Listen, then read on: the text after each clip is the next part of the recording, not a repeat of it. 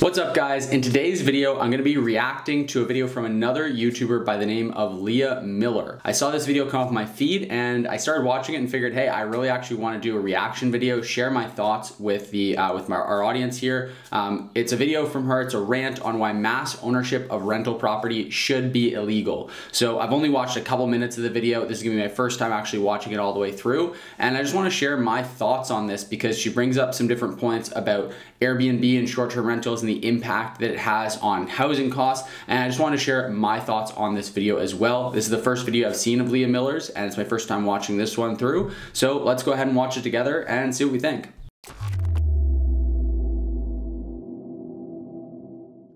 So I'm not sure if you've noticed, but the housing shortage in the United States is worse than it's ever been. We're about 3 million homes short of the demand from homebuyers, and this is due in part to COVID supply chain issues. I know I've personally had contractors come into my home to give me estimates on work here that were eye-watering. and they say that supply costs have increased by like 30% since the start of COVID. Not to mention the delays in getting the actual supplies once you order them. The lack of housing supply is also due in part to a slowdown of building after the 2008 recession. Workers found other jobs outside of construction during that time and then never came back to the industry. And millennials, the largest generation, started buying houses since then. Especially with unemployment as low as it is right now, there's a huge demand for construction workers and they just can't keep up with building houses at the pace necessary to fill demand. Another problem, overly restrictive zoning laws throughout the country which don't allow you to buy a piece of land and build, for example, multiple townhouses on the land and divide it up.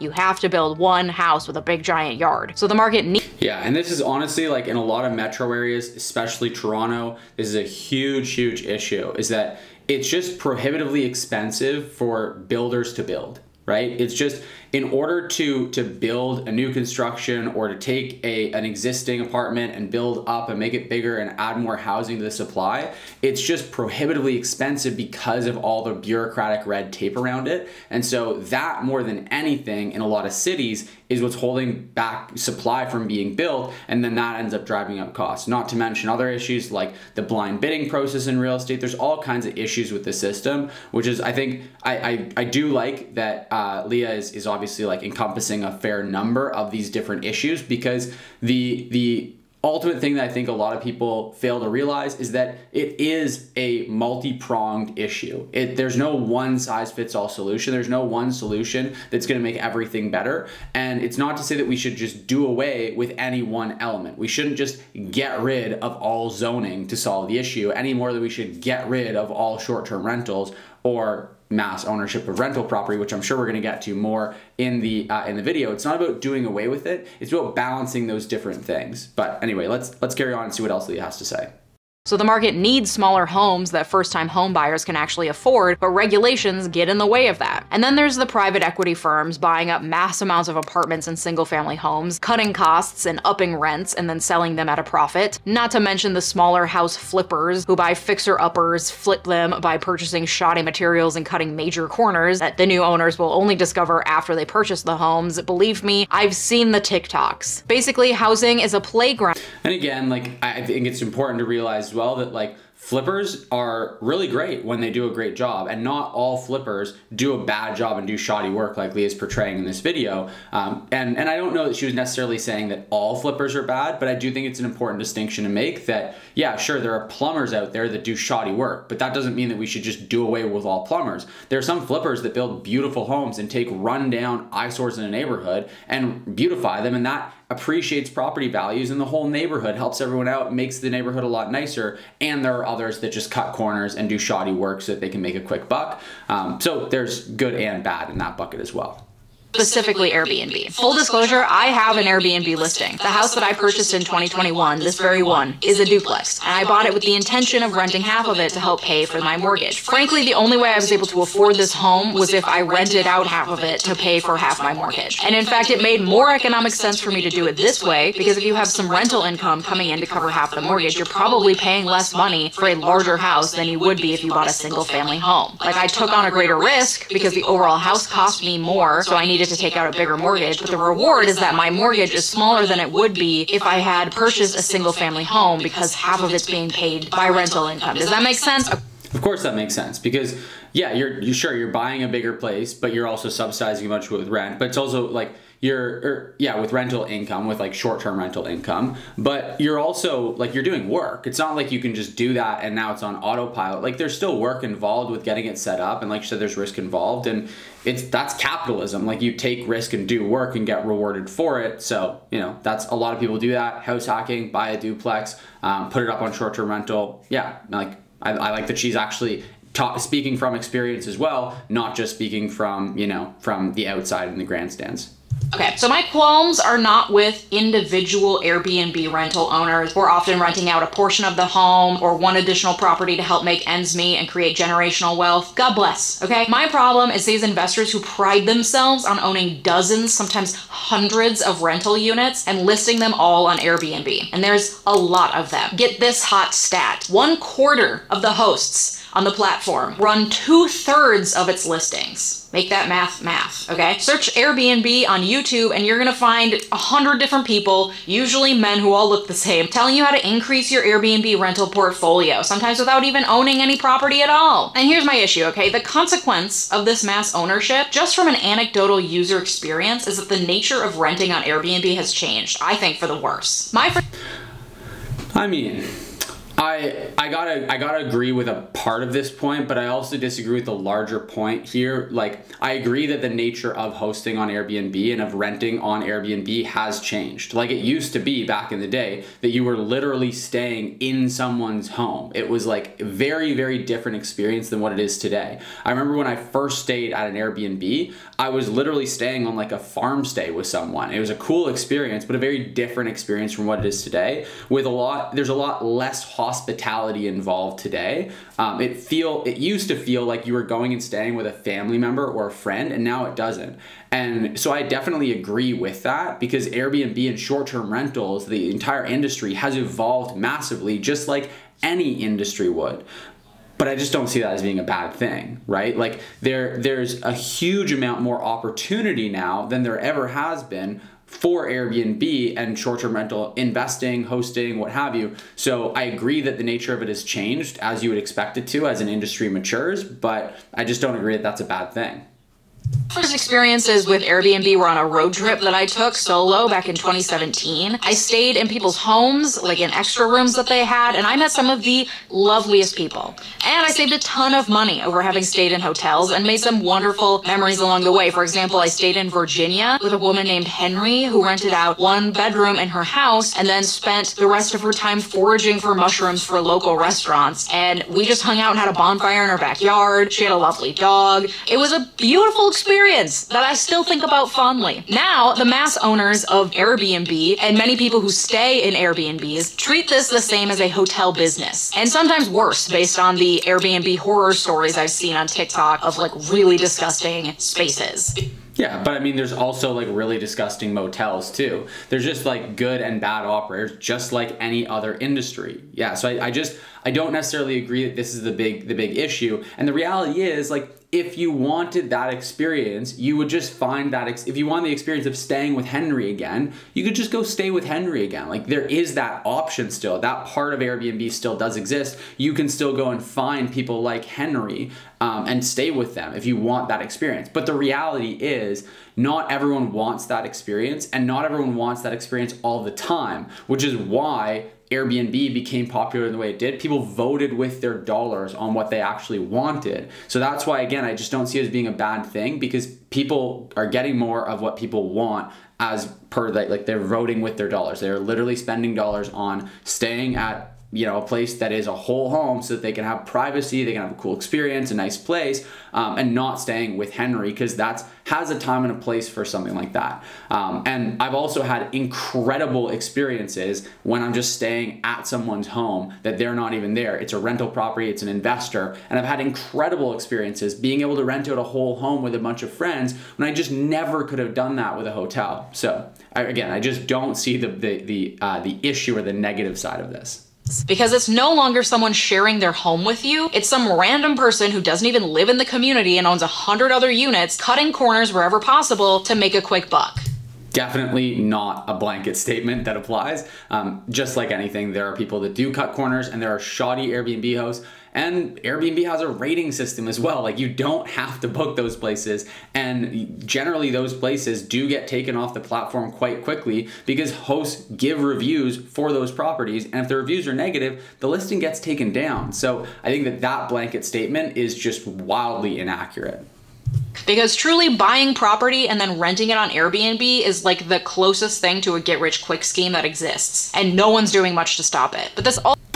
I I yeah, I just could not possibly disagree more with that statement. What is get rich quick about buying one of the most tried and true assets in all of history, real estate, and using it to its highest and best purpose, leveraging it so that you don't have to have all the headache of traditional long-term rentals and get more cash flow. How is that get rich quick? You're adding value to society by giving people a place to stay. Like the market wants that, they're willing to pay for that. What is wrong with giving the market what they want? The alternative is like if I wanted to go and stay at a cottage with eight people, 10 people, like my friends, my family, what am I gonna do? Book a hotel? Like, I can't do that. I can't get that experience elsewhere. And so, like, this has always been a thing. There's always been vacation homes long before Airbnb. They just became more popular and more widely accessible to people because of the success of a platform like Airbnb. And I see that as an incredibly good thing for both the guests staying at great properties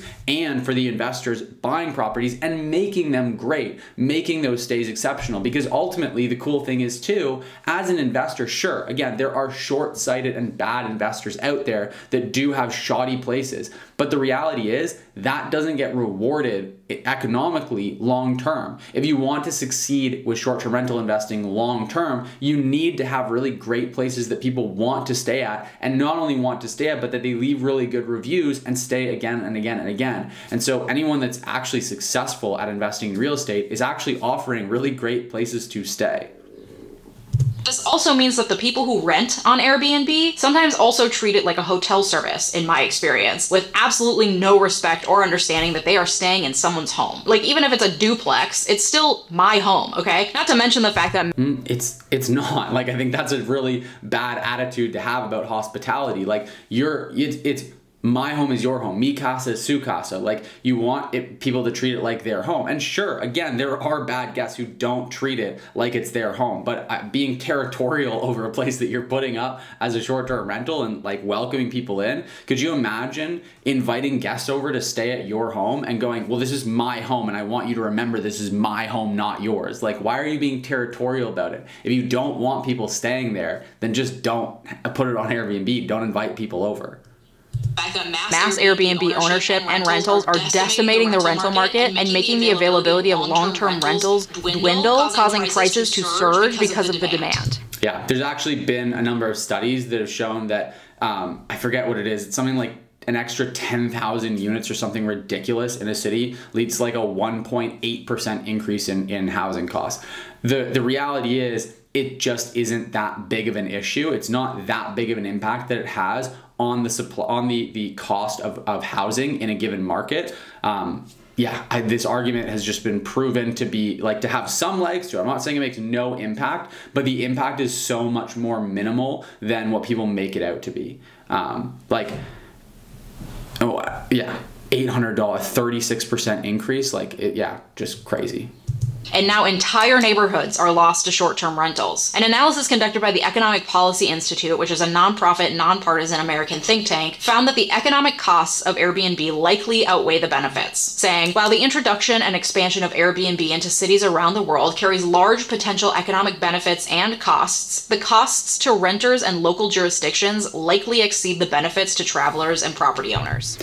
I mean, I could not imagine making a more vague statement. Um, like it, the it, the cost to renters in local jurisdictions likely exceed the benefits to travelers and property owners. How do you like? How do you even begin to back up a statement like that? Property owners. This is known as the Airbnb effect, which is very similar to gentrification in that it slowly increases the value of an area to the detriment of the local residents who are then pushed out due to financial constraints. A recent study in the US found that a 1% increase in Airbnb Yeah, there we go. Yeah, so it's that's what I was saying. A 10% increase leads to what would that be? A 10x. So it'd be 0.18. So a 1% increase in Airbnb listings leads to a 0.018% increase in rents and a 0.026 increase in house prices. Like, come on. You're telling me that that is the difference maker for for short term for housing affordability that's crazy imagine if you were paying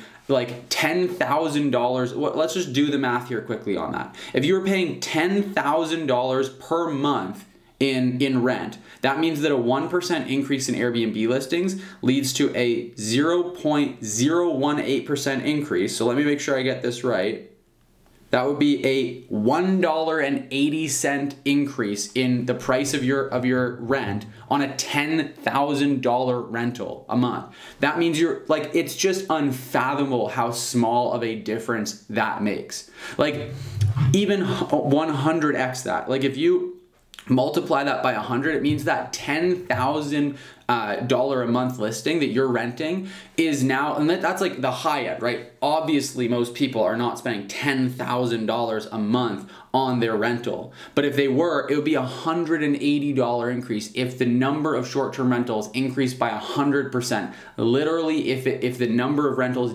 doubled in a market right? Like that is such an insignificant d- increase to the price of affordable housing for rentals. Uh, and again, so still such a small increase in housing prices. If you look at the impact that it makes that we have a shortage of supply because of zoning regulations, restrictions, like that definitely makes a much much bigger impact. So, yeah, this is actually I'm I'm surprised that she included this study because to me it proves the opposite point from what she's trying to make listings leads to a 0.018% increase in rents and a 0.026% increase in house prices. That doesn't sound like a lot, but a lot of communities are experiencing growth of much more than 1% of Airbnb listings. But again, even if they experience a 100% increase, it still is insignificant. I want a doubling of the of the number of listings in an area increases increases rents by 1.8%.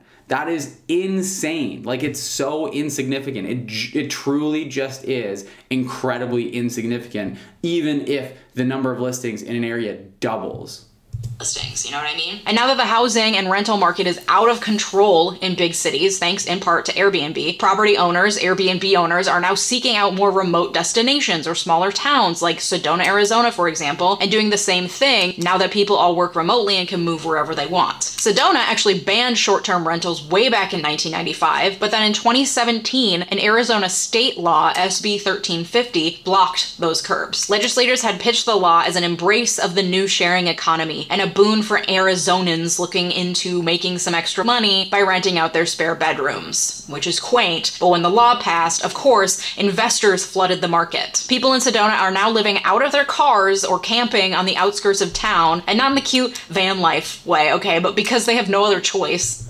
I mean, come on.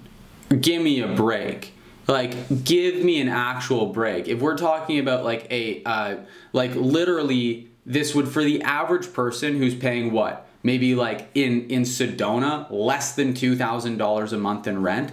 If the number of listings grows by a hundredfold, then we're talking about or by a hundred percent. Like if it just if it doubles, right? We're talking about what would that be? It'd be about a thirty six dollar a month increase in their rent for someone paying two thousand dollars a month before.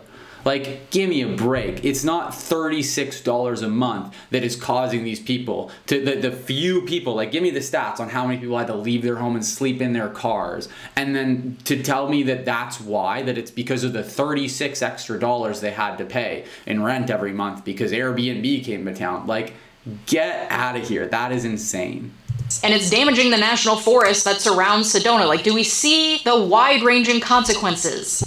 I mean, more people, more tourism going to an area is what's causing that, and like people enjoying the, the area. Frankly, is like you know, again, I think that I, I, just don't see how you can get mad at people for wanting to go to a beautiful place. I think that if they're not protecting the area, if they don't have like, you know, they don't have the proper protections in place so that people respect the area, that's one thing. But you can't blame the hotel they're staying at for the people not taking care of nature around the area. So you can't blame Airbnb for that issue. Like that's, you know, not cause and effect there when you prioritize tourism over all else. More tourism means more service industry workers are needed, but those service workers can't afford the housing because of the increase in tourism. Like there needs to be a balance, okay? This is what regulations are for. In Sedona, this is not what regulations are for. Um, I strongly disagree. I think that regulations are for making sure that the bad actors aren't in aren't able to make a profit. So the people that are violating fire codes by sleeping like 25 people in their like five bedroom place, those people are who we need regulations against. But honestly, we don't even because they get really bad reviews and it's a self-regulating industry for the most part. So yeah, I agree that regulation has its place, but saying that we should just do away with tourism or severely limit it to hotels. Like that's crazy. Why is it better that a hotelier gets to make all the money and gets to have all the profit and then people get a worse experience when they stay there because they only have more limited options? Like we're just going like that just doesn't make any sense. Why do we want to restrict people's options and concentrate the wealth more heavily and then restrict overall tourism because there just frankly isn't enough hotel space for the people that were there? Like this is insane. This makes no sense to me. 16% of Airbnb rentals are owned by five companies, and the city has become the target of professional Airbnb hosts. And that's just. Okay, okay. Just wait a minute. 16% of all active Airbnb rentals are held by five property management companies. That means there are five property management companies that are managing those properties. They're not owned all by the same company, they're managed by a company again that just makes it better. It make like the property management companies tend to do a better job because they have boots on the ground they have people there they actually know what they're doing like that's not a bad thing and that's a pretty skewed way of presenting that information to say that 16% are owned are held held by just five property management companies. Yeah the property management company manages the property they don't own it five companies, and the city has become the target of professional Airbnb hosts. And that's just one example of what's happening throughout the country. And the more remote that these investors go, the more damage is being done to the local residents and local environment that was not built for the influx of new people who don't give a shit about what's going on locally. They just want to have their bachelor party in Joshua Tree, god damn it. Okay, so Airbnb is